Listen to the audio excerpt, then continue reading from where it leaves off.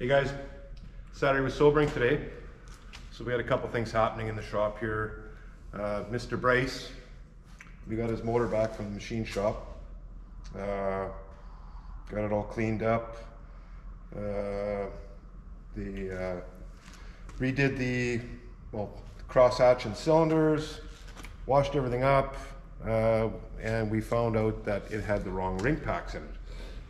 So they were a little too narrow in here and they were jiggling around and causing grief. So we got the new ones. We'll get around to installing that. Actually got one set on here now already, which fit way better than the old ones. The old ones are gone, so we can, well, actually they're not. We can show you the difference here. But uh, talk to Bryce for a second.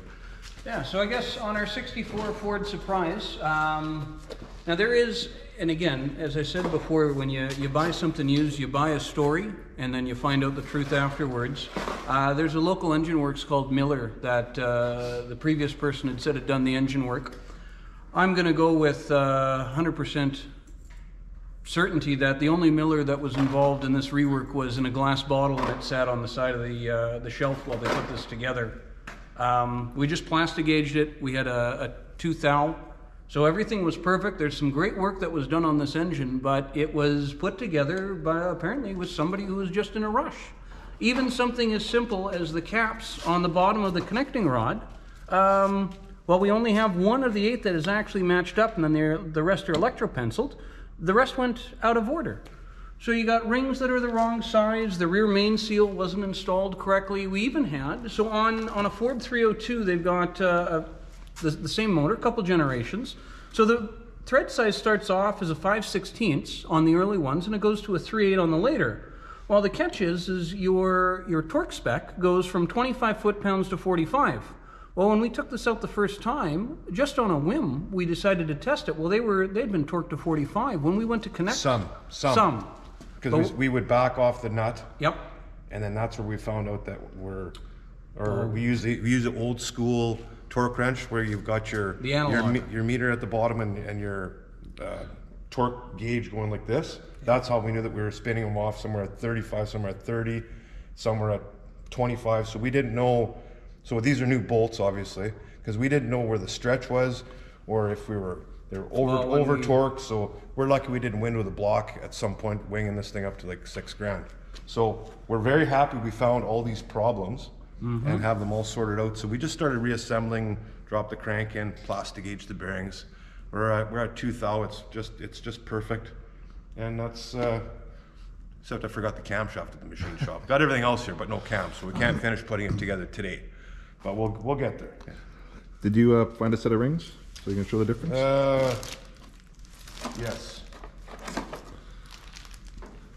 Bit of difference was that this is over there. There. it's gone. So it's a bit. So aside from the fuzzies and the little bits, there's a diameter difference. It's measurable with. It's measurable with a caliper. These are Yep. these are these are thinner than what these are. So that creates too much movement in the ringland. So you're going to have a premature wear or f- and, and obviously failure because you're going to. This is going to stretch out or wear out, rub out. So And as we found out, this led to a four-stroke burning oil like a two-stroke. well, that was also had to do with the with the valves. Yep. Uh, the headwork that was done on uh, prior to it getting redone, because these are all brand new valves in here.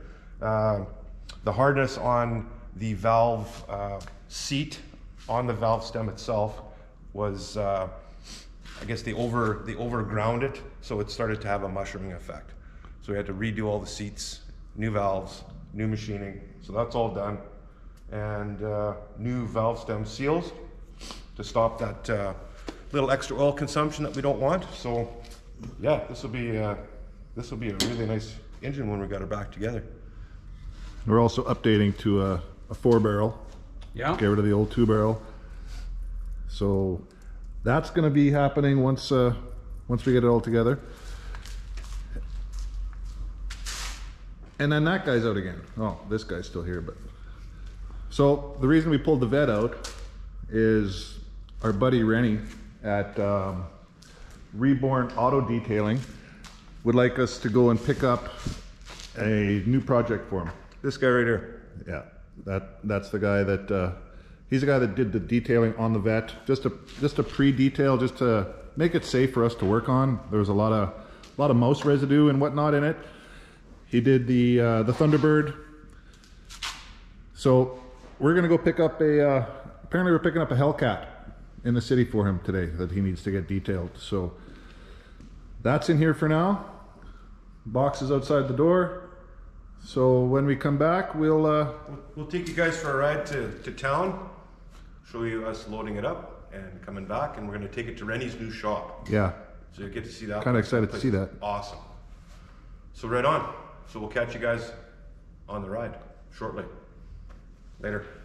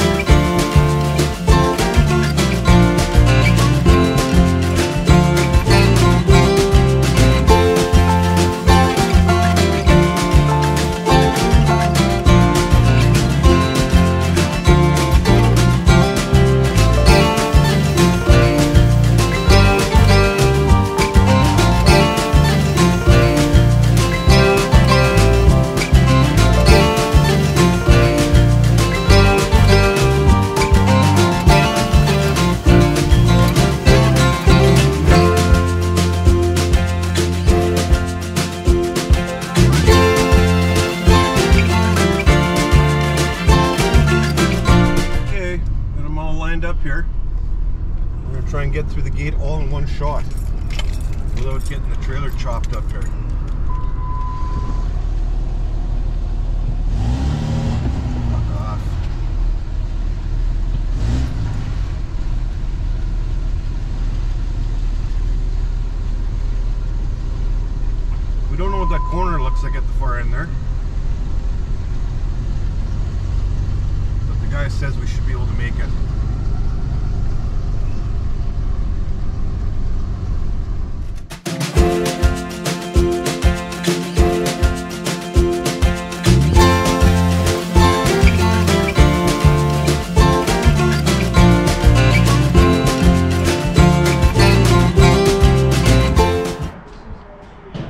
at the storage unit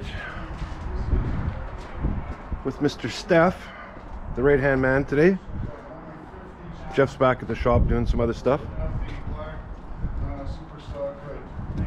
Specially ordered from Dodge. Nice. So what's going on? This is a 2020 Dodge Challenger SRT Hellcat. I've heard a rumor that the hood was or- ordered from the uh, dealership owner, and I've heard a rumor that it is one of 50 on the planet Wow. of a cha- of a Hellcat, regular Hellcat, non-red eye, to have this hood. So we'll be bringing this thing over to uh, Reborn Auto Detailing out in St. Pierre here and uh, basically get this thing all polished and uh, get it ceramic coated, get it all cleaned up and uh, good for next year. Right on. You betcha. And we get the pleasure of uh, doing the delivery. Absolutely. Okay, well, we'll She's gonna roll out just a move a couple things around here and then we'll uh, get that guy in the back over there into there. We'll be back shortly.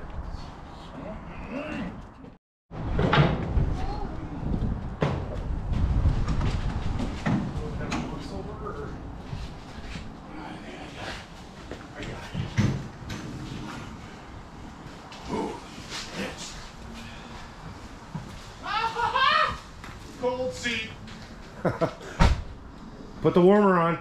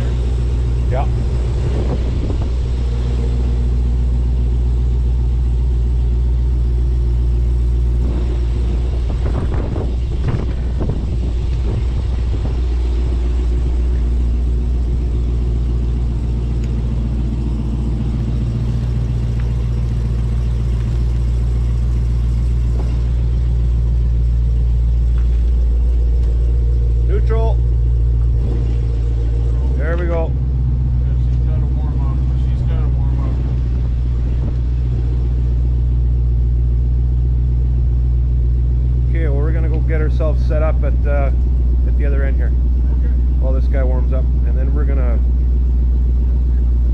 get this thing on down this icy lane over to the uh, drier cement in the front to uh, have some have some traction to get it into the trailer. All right, back in a second. Okay, here we go. This might be interesting.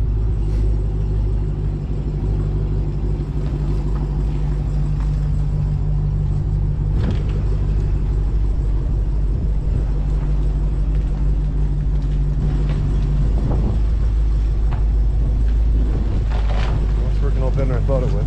This is just like slick. Super slick here. That's a nice car.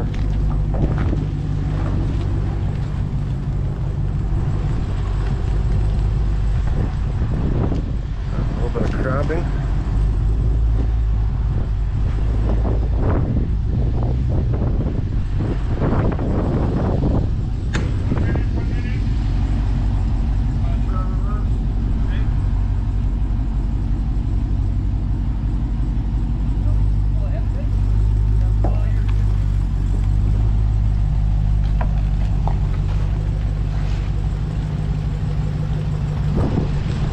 There we go. That way and back in here.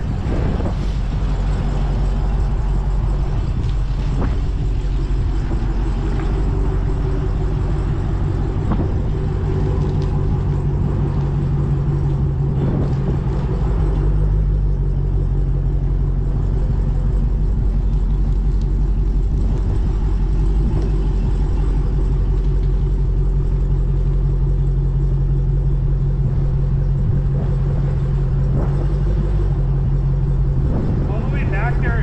Yeah.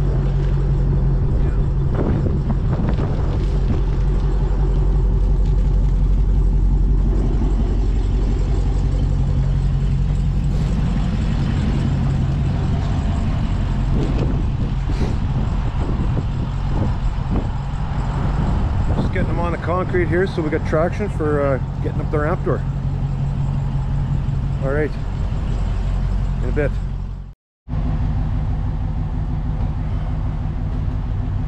She said in sport mode.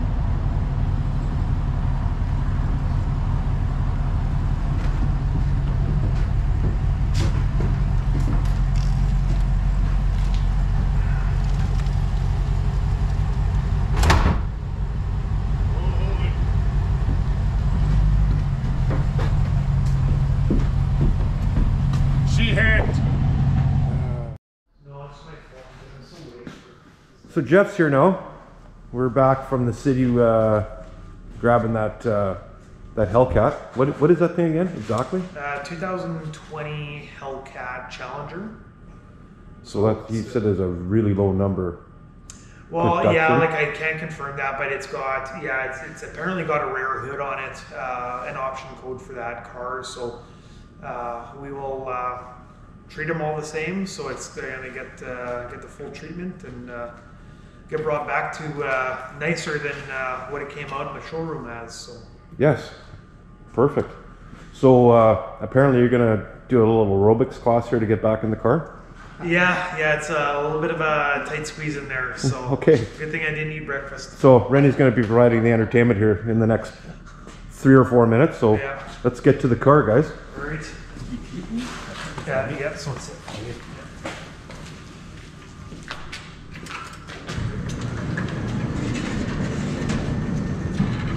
Coolest garage door openers ever go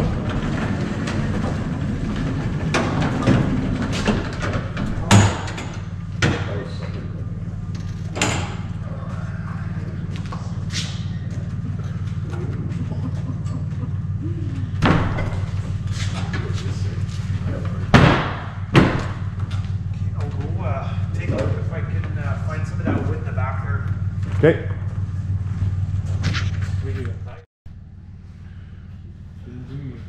Okay, Rene. Yeah. Show us how show us how it's done. Slim down as much as I can. We got, we got grease over here, right? yeah. Are you gonna go through the trunk? Yeah. Seriously? Wow. Um, you're you're awesome at the out the 57 Chevy window for sure. Leave that knife out of your pocket. Yeah, keys. Can't open the door in this guy, so this is what we got to do.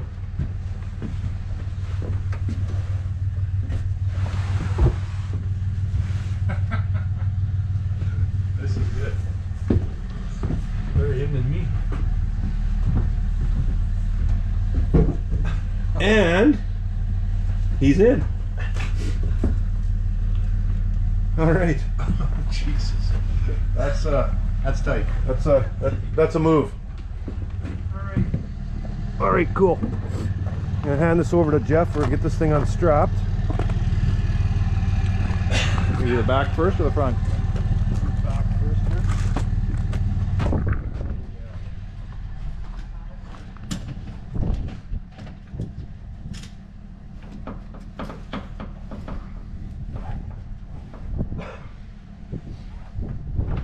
There's nowhere to feed it through in there. They had to go right, right on the side of the, the uh, control arm. Okay.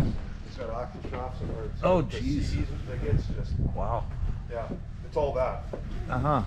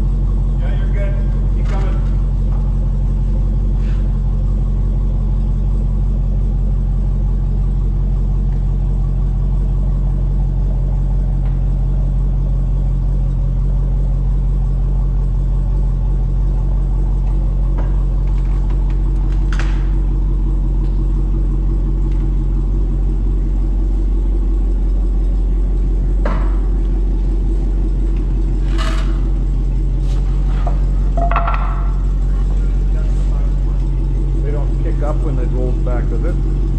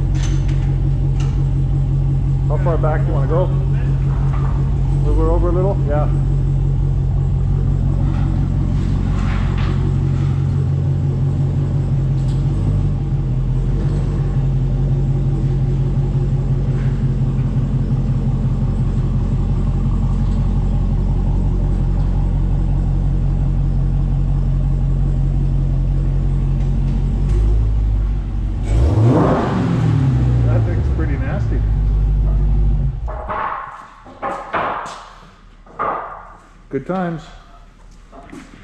I wanna say I feel like my car's a little bit louder though. Oh yeah?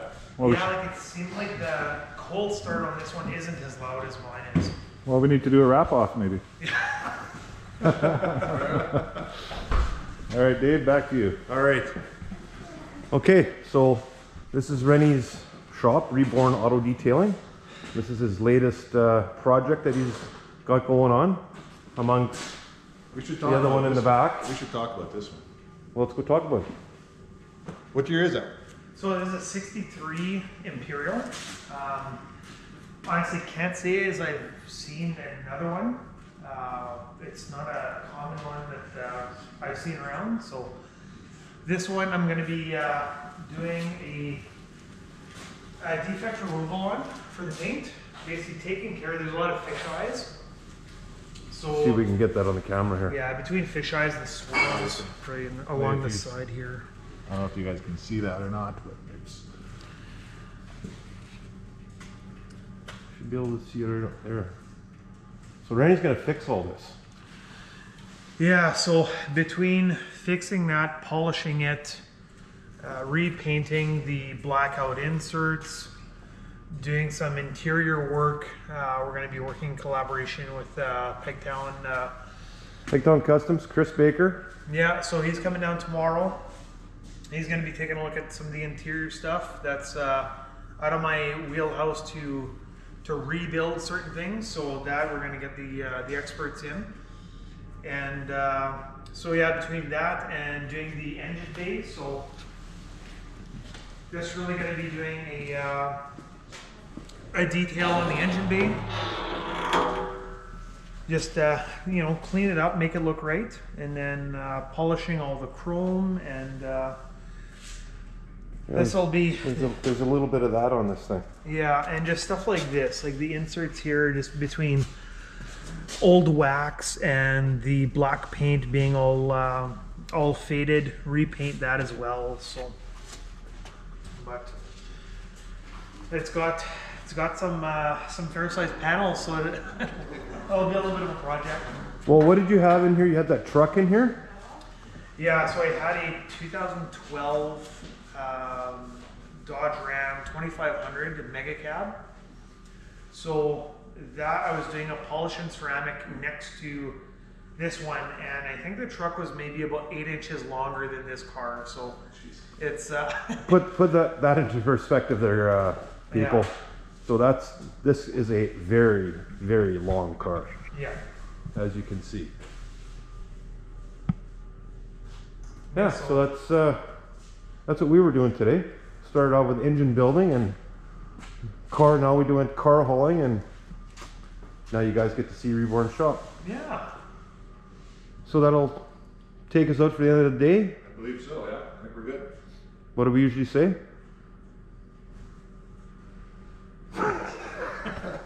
Thanks for watching, guys. Thanks for watching. Share, like, subscribe, tell all your friends. Thanks And- for the tour. And check out Rene. He's on Facebook. What's the uh, your So page? look us up under uh, Reborn Auto Detailing Rad, and uh, yeah, give us a, uh, a follow and a like, and uh, you'll be able to check out all the the cool stuff we've got going on here. So always always something new. Right on. Okay, Alright, guys. thanks. Till next time. Later.